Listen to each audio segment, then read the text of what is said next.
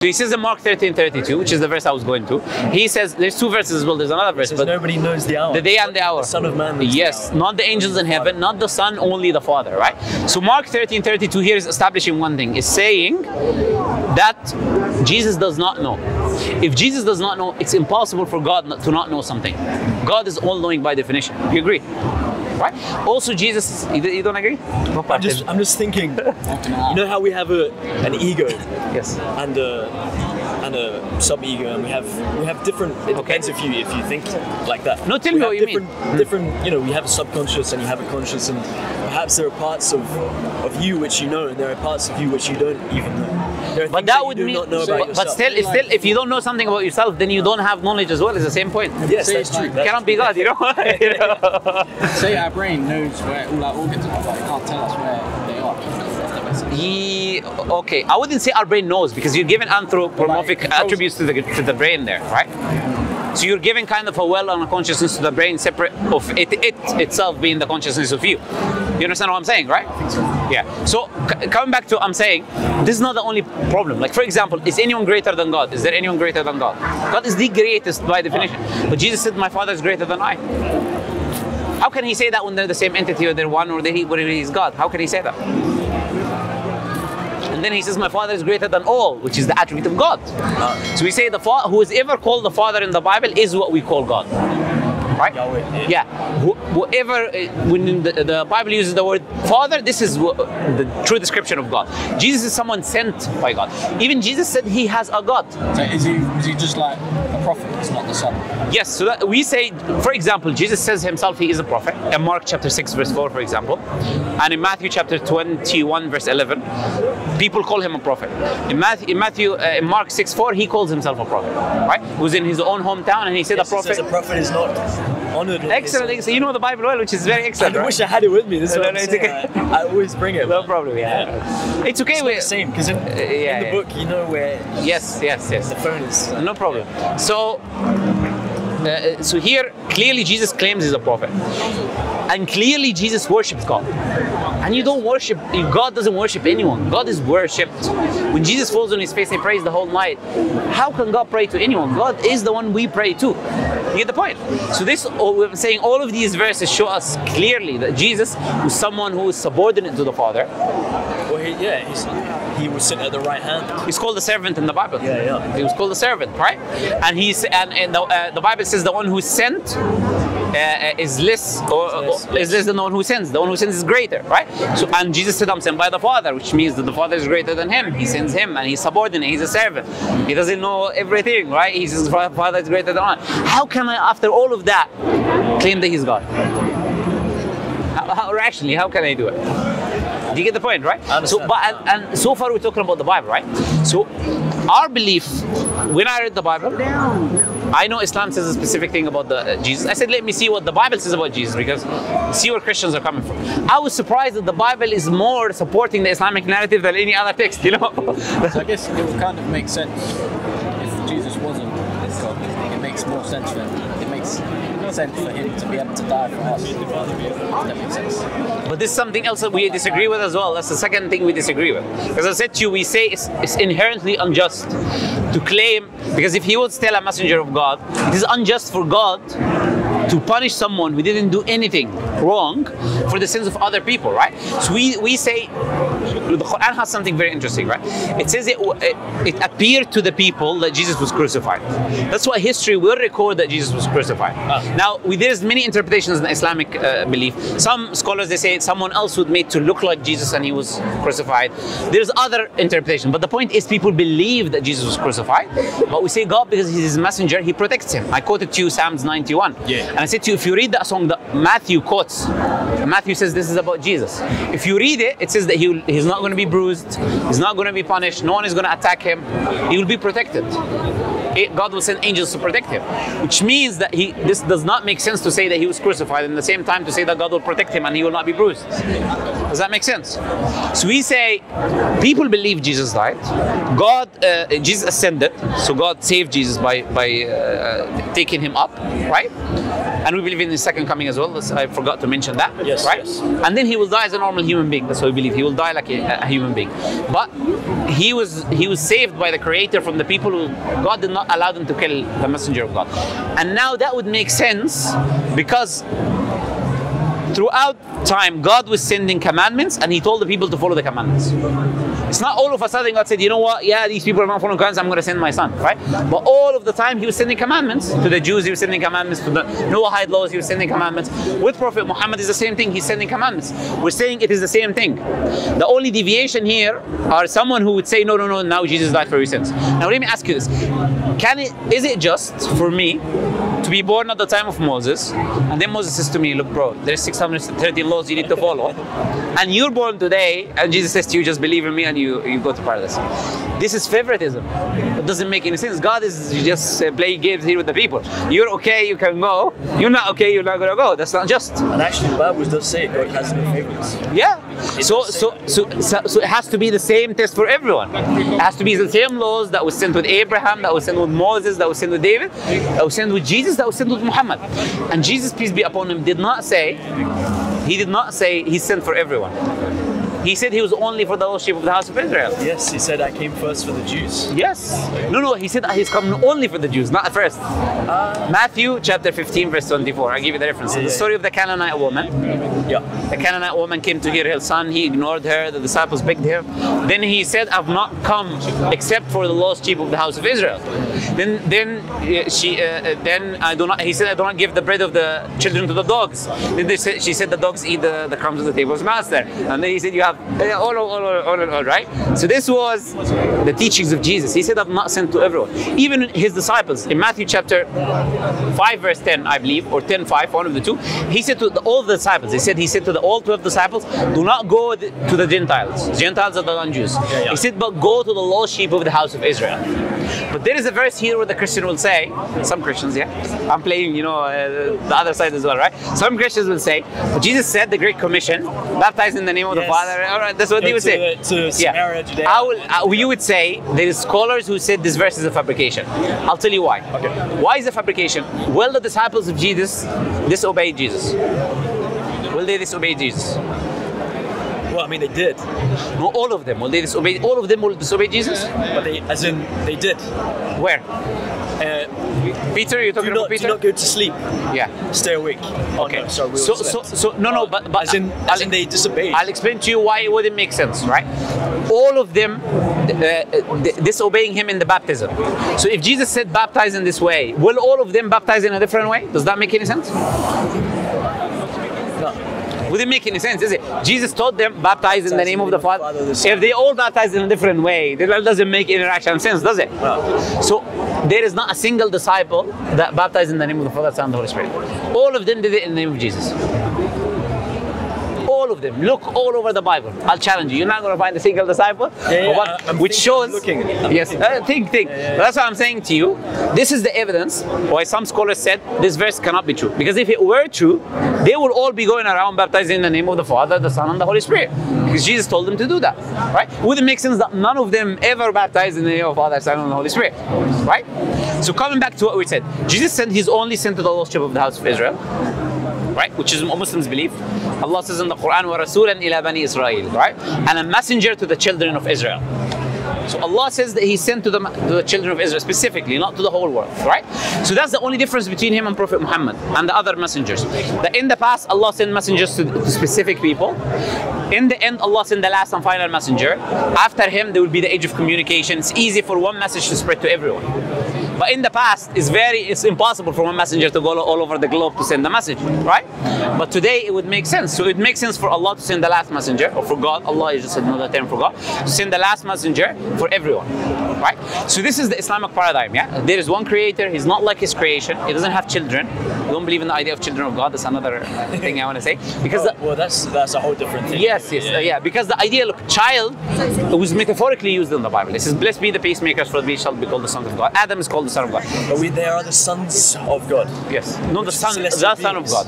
No, no, sons of God, which is angels. The angels, yeah, it's Yeah, used. yeah, yeah. It's used for it's it's used for the angels as well, and it is used for specific individuals like Adam. For David, it's called the begotten Son of God in Psalms chapter two, verse seven. Because some people say he was the only begotten Son of God. Say, no, no, the, read the Bible. Psalms chapter two, verse seven. The Lord, uh, I, I, I declare the decree. The Lord said to me, "Today you are my son. I have begotten you." This is what David is saying in, uh, in Psalms chapter 2, verse 7, right? So, what we're saying is this idea, Son of God, was a metaphorical thing because Son either is biological, metaphorical, or, or uh, adopted. Yes. And Inherited. Yeah. yeah, yeah, and definitely he was not biological. God did not get, become pregnant for nine nine months, right? And he was not adopted. God didn't say, "I adopted Jesus," right? So definitely it was a metaphorical sense when you say Jesus is the Son of God. So we say Son means that God takes care of you. God looks after you. Hmm? Does that make sense? If you if you also believe in the um, miraculous birth of Christ, Yes, we do. Yeah. why why why so? Who is the Father? Okay, excellent. Now the Quran answers this point. Okay. Deals with this point, right? The Quran says, right, which is very interesting, isn't it? The Quran says the example of Jesus unto God is like Adam. Yeah. First He- one. Yeah. He created him from nothing, and he said, "Be and it is." Yes. He created him from dust, and he said, "Be and it is." Why is Allah saying there? Allah is saying, "Look, if you think there's something unique about Jesus because he had no father, Adam had no mother and no father. So if I worship Jesus and make him God because he doesn't have a father, it's someone who's more worthy of worship, which is Adam. He had no father, no mother. So it's a miracle that God created Adam like this. It's also a miracle for a prophet like Adam that God creates Jesus without a father. Make sense? Not only that, but there's also Melchizedek, Yes. who had no genealogy, no Which- mother and a father, you know. Which the Bible is very obscure about. Yeah, The there's no there's no description. No, no, no, no. Someone a- called Melchizedek. was still Yeah. contemporary to Abraham. He lived at the time of Abraham, and the Bible says He's a high high priest. yeah, the Bible calls him a priest, and it says he has no uh, no genealogy, no mother, no father, no end of days, no, no beginning of time. It's very abstract. Is that, is that meant to be like the Holy Spirit? There's no explanation. No, it's definitely not the Holy It's very no one really knows. Yeah. But at least from what I've studied. So, so the point is, we're saying, look, you have you have someone else, Melchizedek. Melchizedek. He's mentioned in M E um, Z. he's mentioned in Exodus chapter seven, I think. Hebrew, Hebrew chapter 7. Hebrew chapter 7. He's mentioned in Hebrew chapter 7. So, so coming back to that, so he's saying, even I give you an example of Adam, also giving you the example of Melchizedek. So you being born miraculously does not make you God. It's a miracle that unique to you, like like Moses had his own unique not miracles. God, sorry, as in son of God. That's, Yeah. that's what was I was asking. Yeah, yeah. So, so we're saying yes. If you mean Son of God metaphorically, but God takes care of you, no problem. But why we say don't use that term? We say don't use that term because it causes confusion today. People think literally God has a son, this and that. So Islam teaches you not to use that term. Right? Actually uses it. It's a, Quran says that this is something is kind of an insult to God, because the Creator, if you say He has a son, then there has to be some sort of need.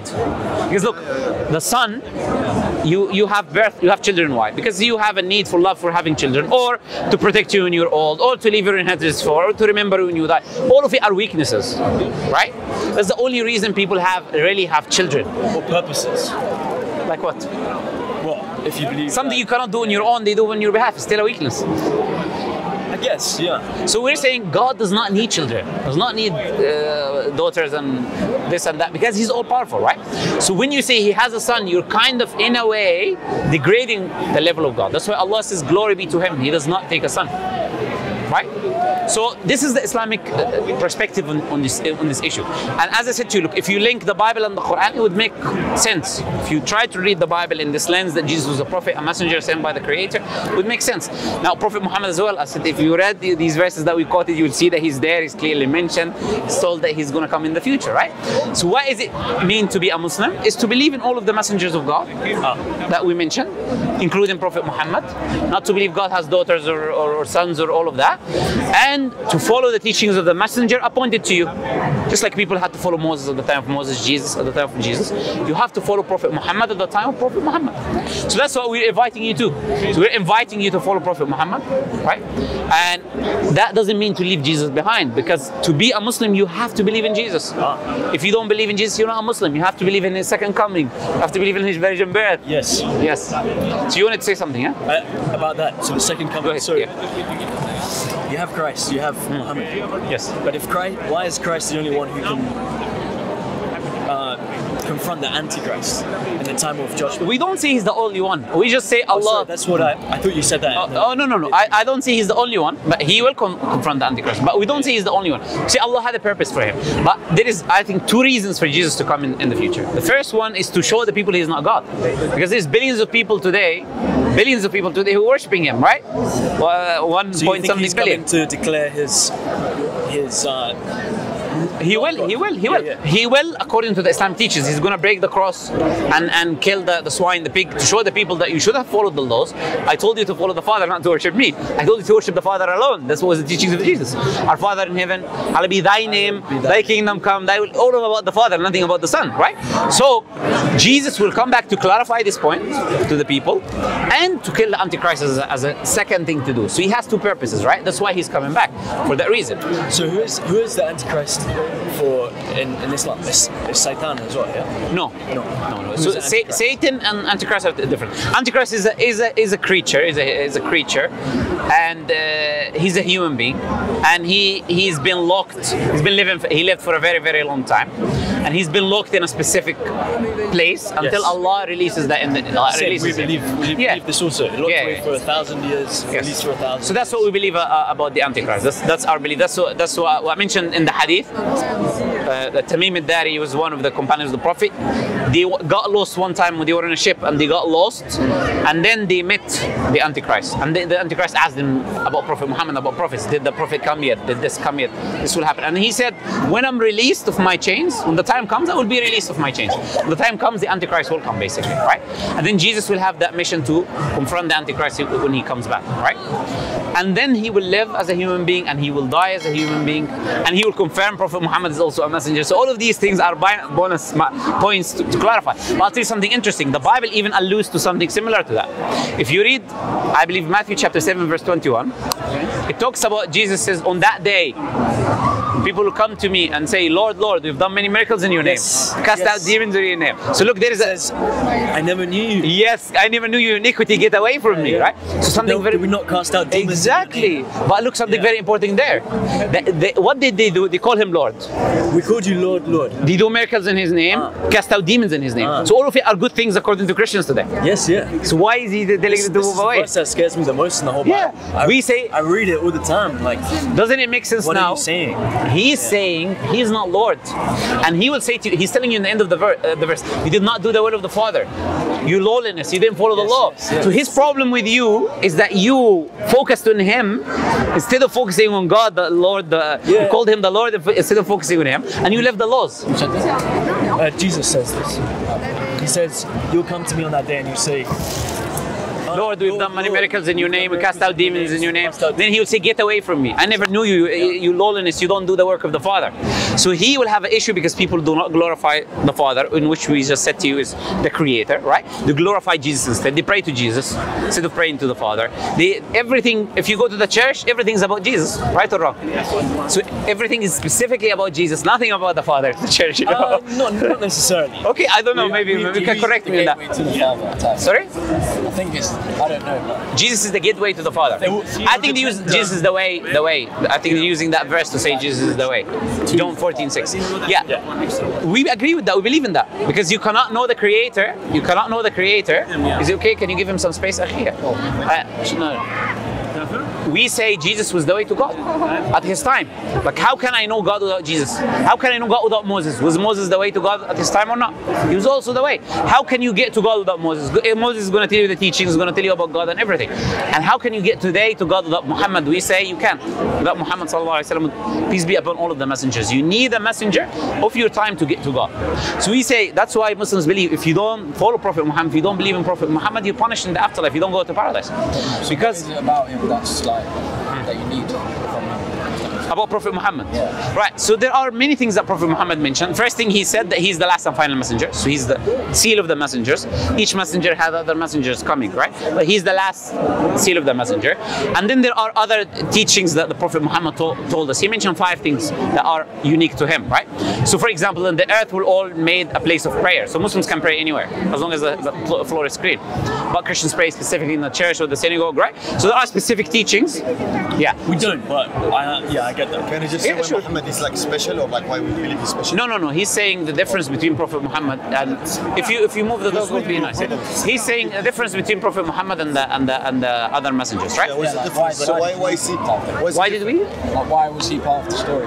You, I think you were explaining. that. Yeah, this, this is what I was saying to you. After him, there's the age, the age of communication. It's easy for the message to spread to everyone. So he's the last and final messenger that is chosen by Allah. He's sent to everyone. This is the second thing that I was mentioning to you, right? He's sent to everyone, not just to a specific locality or a specific nation, right? So all of these are, are, are things, some of the things that Prophet Muhammad told us are specifically unique to him that was not made for, for other messengers of God. But in the, in the Quran teaches us we have to believe in all of them. Can't pick and choose, right? So I cannot, uh, you know, and the Prophet told us explicitly not to com- compare in a demeaning way between the messengers. Yes. He said, do not say, yeah. So he said, do not say, I'm better than Jonah. Right? Do not say, why is he saying that? Because people are fighting, comparing, oh, he's better than him, and he's better than him, and he's better, and then problems will happen. That's why the Prophet taught us not to do this, right? Not to be in a comparative way, in a bad way, comparing between the messengers. So we, we say, look, he's a messenger. His job is to give me the message. I should focus on God. That's the thing that Muslims have, the biggest problem Muslims have is that most religions or all religions do not focus on God, they focus on people or other things. Focus on Jesus, focus on, on Buddha, focus on a country, India, you call Hinduism, a culture, focus on everything but not God, not God, everything. Islam, the first and last thing you have to focus on was God. Muslim, what Muslim means to submit to the Creator. Muslim is to submit to God, right? Allah says if they ask you about me, I'm near. I answer the call of the person. So Allah is saying straight away, I'm near. If you call upon me, I call upon me. He is when he says he's near. He's closer. So Allah says in the Quran as well, He's closer to us than our jugular veins. You know, the jugular vein. He said Allah is saying He's closer to you than your jugular vein, right? Which means He's so close to you that anything you need, Allah doesn't need a secretary. No one is, uh, please can I see God right now? Is He free? No, go to God straight away. This is the message of Islam. It's Tawheed, monotheism. There's one Creator. Worship Him alone. Give Him absolute glorif- clarification, seek absolute help from him. Do not do that to any other human beings, even Prophet Muhammad. A man said to Prophet Muhammad, he said to him, What Allah wills and you will. He said, No, don't say that. Say what Allah wills, then you will later on. But don't put me with equal with God. Can I ask right? a question, brother? Yes. What's the difference between the Christian God and the Islamic? We were talking about that all, all this time, right? Don't worry. We, all the discussion we were talking about that, right? So, so uh, you know, basically in Islam there's no Trinity, and this is, this is a very basic thing. I know, I know, but I told him, I told him, no worry. I know what you're trying to do. Don't worry. Can I just can I just add something? You know, just Yeah. add something because I, I'm a Muslim. I was born as a Muslim. Yeah. But when I came to this country, different Muslim different religions. You know, like Muslims, Christian. We're back home. I've got village, all Muslims. So I was there because of my family. I, I even used to lie to them. I used to say I'm but I didn't used to fast because I have to follow. You know. But then when I came here for two years, I was like, there is something. But I'm Muslim because of my family. I'm Christian because of Christian. But I said there is something. I don't know what it is, but I want to enjoy life. So I lived for two years like people doing lots of bad things against my own faith, which is harmful for me, basically. But then after two years, I was thinking, what's my purpose? I need a purpose. And when I start thinking, what's my purpose should be, I should look for that being, whoever it is. He should have these perfect, perfect uh, Attributes. yeah, descriptions, you know. And then he should be, he should, if he give me his book, I should be struck. I should be struck by what he has in his book. You know? The moment I read the first verse, I should be like, wow. And for me, I, I, I read about Buddhism, about atheism. I read about a lot. I didn't go into much details. I read about the foundations, but I end up that Islam is the only religion when critically, if you criticize it, it will it will shut you. It will shut you. Whatever you have, it will shut you. But you need to, to listen. Yeah, it, you need to listen to it without any effects of other people. You need to be neutral. That's Islam for this much. But if you have an understanding or any idea about Muslims, some bad experience or of, this is the book that is. You know what Allah says in the first 10 verses? This is the perfect book for you. This is the meaning of the verse. And I challenge you to bring something like this book. And it's I don't want to speak. You need to experience. Bro. That's what I'm saying. I didn't experience So- all of it. This is why I came. Yeah, exactly. absolutely. So experience. don't don't listen to me. Experience it. I swear. I, I didn't come to, to debate. I came And no, no, absolutely, it's not about I'll tell you something. You're. I'll tell you something very important, like, because like, and, and I and I applaud you and I praise you that you have very good manners, right? Because a lot of people, unfortunately, don't have the willingness to listen, even, right? They wouldn't let you speak if you, because why? They feel like I've been living all my life believing Christianity, and you're and you're right now saying something that maybe it's not the truth. No, no, no, no. then the emotions come out, the hard, defense it's come hard, out, right? I've been Yes. through okay. a big journey. I, I'm happy. That's good. I, I, look, I'll tell you the truth. Look, and and I, Simple, trust me, what- I've been I've been Islam, talking. It's simple, simplistic. Yes, I've been talking to so many people. I'll tell you, I spoke to so many people in my life. I'll tell you something. So far, you are the most knowledgeable Christian on Christianity that, that I talked about. On the Bible, on the Bible, when it comes to the verbs. And I'm not saying that to praise you. No, no, I'm saying that because I see that the truth. When I mention the verses, you actually know about them, right? Most of them are, where is this verse? Why is that verse? Why is it saying? You don't have the knowledge, right? You have the knowledge, which means you put the effort. That, which means it will be easier for you to understand what I'm saying to you. Well, that's you why get the I want point. understand. Yes. So as I said, look, we're inviting you to Islam. Obviously, this is our job. We invite people to Islam, and if, if it makes sense to you, we, you we welcome you. It's very easy to become Muslim. Testify there is one Creator. There's no one like Him, the one I was telling you about, and to testify Prophet Muhammad is His messenger, right? And I'm inviting you both to do that, if you want to do that.